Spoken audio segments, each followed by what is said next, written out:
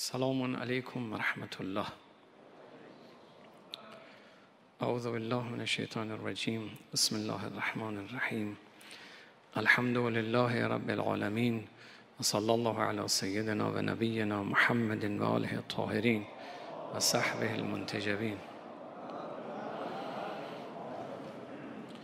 اللهم صل على وليك علي بن موسى الرضا المرتضى عدد ما في علمك صلاة دائمة بدوام ملكك وسلطانك اللهم سلم على وليك علي بن موسى الرضا المرتضى سلاما دائما. بدوام مجدك وعظمتك وكبريائك رب ادخلني مدخل صدق واخرجني مخرج الصدق واجعل لي من لدنك سلطانا نصيرا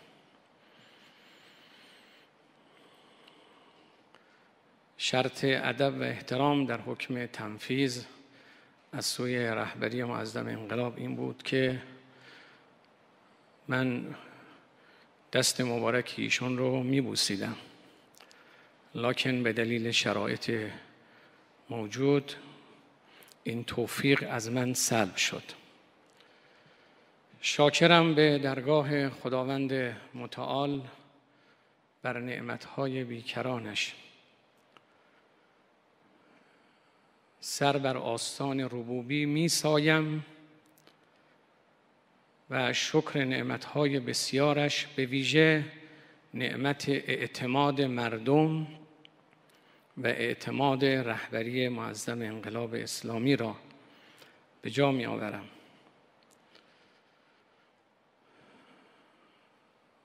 خورشید تابناک مردم سالاری دینی بیش از چهل سال در این سرزمین طلوع کرد.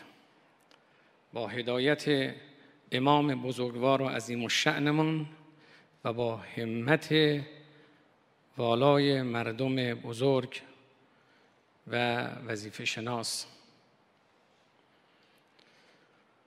مدل حکمرانی نوینی با عالم عرضه شد. در این مدل حکمرانی نو امر دین در کنار دنیا. امر علم در کنار اخلاق. امر عدالت در کنار پیشرفت. امر عزت در کنار رفاه. این مدل به عالم عرضه شد تا بدانند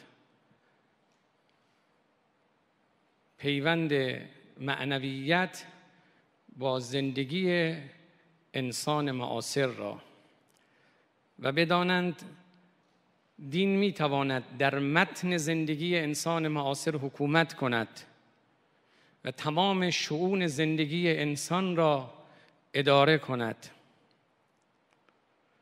و در یک کلام جمهوریت در کنار اسلامیت. استقلال در کنار آزادی در هم آمیخت و این آمیختگی برای جامعه اسلامی ما و برای عالم مدل نوینی از حکمرانی را عرضه کرد. دولت مردان و مسئولان مردم عزیز در این چهل سال بسیار تلاش کردند در جهت تحقق مردم سالاری دینی. در این چهل ساله اونجا که توجه به رهنمودهای امام و رهبری شد به سیاستهای نظام شد حوزه پیشرفت اقتدار و ارتقاء بود. و اونجا که بی توجهی یا کم توجهی شد به رهنمودهای امام و رهبری و سیاستهای مصوب نظام و اقتضای انقلاب شکوهمند اسلامی اونجا حوزه مشکلات کاستی ها و گلمندی های مردم بود. من به جاست نسبت به همه خدماتی که تاکنون در این چهل ساله انجام شده است و همه کسانی که در پیشرفت این کشور نقش داشتند و ایفای نقش کردند صمیمانه سپاسگزار باشم. و نسبت به همه کسانی که خدمت کردند و سهیم بودند در این پیشرفت ها باید ادای احترام کنم. انتخابات 28 خرداد جلوه ای از مردم سالاری دینی بود. در این انتخابات مردم علا رغم همه دشمنی های دشمنان علا رغم همه شرایط بهداشتی وضعیت کرونایی و مشکلاتی که بود حضوری با شکوه داشتند حماسه ای بزرگ خلق کردند در کنار حماسه هایی که تا کنون به دست توانای مردم و با اراده مردم خلق شده. حماسه ای که دشمنان رو ناامید کرد دوستان را امیدوار کرد. در حماسه 28 خرداد همه مردم نقش داشتند. باید همه اقشار همه مردم و ملت عزیز و بزرگوارمون پیر و جوان از همه گویش ها اقوام مذاهب و از همه مردم عزیزمون به ویژه آنانی که مردم را به مشارکت و بعث و برانگیختن برای حضور در انتخابات دعوت کردند. از عزیزان فرهیخته ای که نقش آفرین بودند به ویژه در رأس همه رهبری معظم انقلاب اسلامی حماسه با شکوه حضور مردم خلق کرد. این حماسه مردم که باید از دستندرکاران انتخابات هم تقدیر کرد پیامهایی داشت. پیام مردم در 28 خرداد پیام تحول خواهی بود. پیام عدالت خواهی بود. پیام مبارزه با فساد مبارزه با فقر و مبارزه با تبعیض بود. پیام مردم در 28 خرداد ماه پیام اجراع سیاست های اعلامی نظام مقدس جمهوری اسلامی بود. پیام توجه به ارزش های والای انقلاب اسلامی و پاسداری و پاسداشت از خون متحر شهیدان و وسایای ارزشمند اونها بود. پیام 28 خرداد پیام ضرورت رفع مشکلات اقتصادی و اجتماعی و فرهنگی جامعه بود. اینها پیامهایی بود که مردم عزیزمون با رأی خودشون دادند و خواستند از دولت برخواسته از رأی مردم تحقق ببخشد عدالت را. مبارزه کند با فساد. پایان بدهد به روابط ناسالم, ناسالم اداری. پایان بدهد به راندخاری ها پایان بدهد به هر گونه ضد ارزشی که هیچ گونه تناسبی با اساس انقلاب و نظام و ارزش ها در این کشور ندارد. این پیام مردم بود و خواست مردم در یک کلمه و در یک جمله عرض بکنم پیام مردم پیام تغییر وضع موجود بود. شرایط و وضعیتی که درش قرار داریم چه وضعیت اقتصادی تورم چهل و چهار درصد بیش از چهل و چهار درصد. شرایط و وضعیت رشد نقدینگی 680 درصدی در این سالها. بدهی های دولت از سال 94 سه برابر شدن. مشکلات بسیاری که در زندگی مردم اثر گذاشته. و علاج کردن وضعیت کسری بودجه 450 هزار میلیاردی. اینا وضعیت مردم رو امروز ما وضعیت مناسبی نمی‌بینیم وضعیت و شرایط اقتصادی را. هم به دلیل دشمنی دشمنان و هم به دلیل کاستی ها و مشکلاتی که در درون داشتیم. اینها باید تغییر بکنه. مشکلات اقتصادی، مشکلات فرهنگی، مسئله بیکاری، مسکن و دیگر مسائلی که امروز مردم نسبت به اون گلمندند و از همه بیشتر اونچه که مشکل ایجاد کرده علاوه بر این که آسیب دیدن سفره مردم آسیب دیدن کسب و کار مردم باید اشاره بکنم به آسیب دیدن اعتماد مردم. دولتی خواستن که این دولت این آسیب رو جبران کنه اعتماد رو به مردم بازگرداند. این فاصله رو بین ملت و دولت کاهش بده. و این رابطه بین ملت و دولت بسیار می‌تونه گره گشا باشه. برای همیشه در کشور بوده تا کنون. از این پس نیز این رابطه باشد تا بتواند مشکلات حل بشه. در مقابل دشمنی دشمنان ایستادگی و مقاومت بشه. از دولت جدید اون چه مردم خواستند یک تحوله. این تحول اجتناب ناپذیره برای کشور. باید این تحول اتفاق بیفته. برنامه دولت برنامه تحوله. این تحول مستند است به سند بسیار ارزشمند بیانیه گام دوم انقلاب اسلامی. سند ماندگار بیانیه گام دوم مستند اقدامات دولت خواهد بود.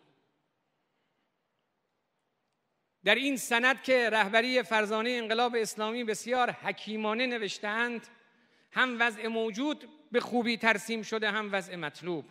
ما باید وضع موجود و مطلوب رو دقیق ببینیم و فاصله وضع موجود با مطلوب را کمتر و کمتر کنیم و بتوانیم برسیم به وضعیتی که امروز مورد انتظار مردم یعنی تحقق فرازهای بلند بیانیه گام دوم. در این تحولی تحول ضروری لازم است که همه فرهیختگان اندیشمندان مسئولان دغدغه‌مندان و عزیزان نقش آفرینی کنند.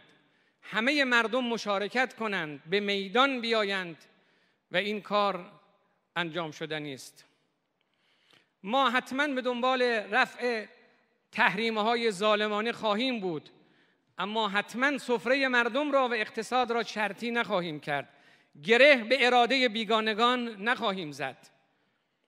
حتما دنبال می‌کنیم مسائل پیشروی دولت را.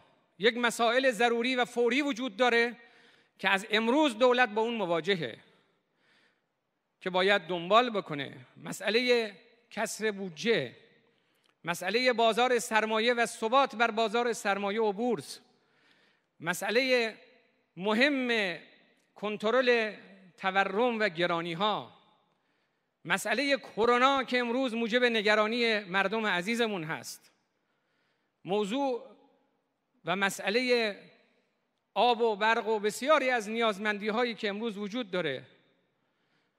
من به همه دولت مردان دولت دوازدهم خسته نباشید عرض می کنم اما کارهای بسیاری است که از امروز پیش پای دولت ما یک برنامه تحولی آنی فوری کوتاه مدت تنظیم کردیم با نگاه به مسائل پیشرو که حدود ده مسئله محوری وجود داره که از امروز دولت با اونها مواجهه.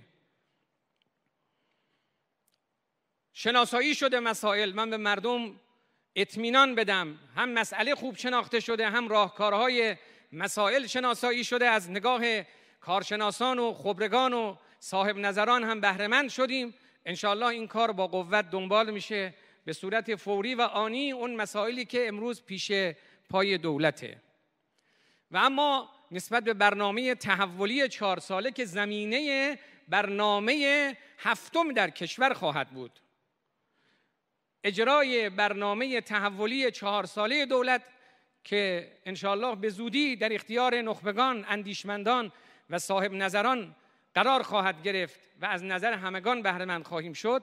زمینه و بستر برای اجرای برنامه توسعه هفتم کشور خواهد بود ان ما امید آن داریم که در این برنامه تحولی همه دغدغه‌مندان بدون نگاه به خط و جناح و گروه سیاسی بدون نگاه به اینکه از کدام قوم و کدام قبیله و در کدام دانشگاه و در کدام حوزه هستند. همه فرهیختگان و دلسوزان نقش آفرینی کنند.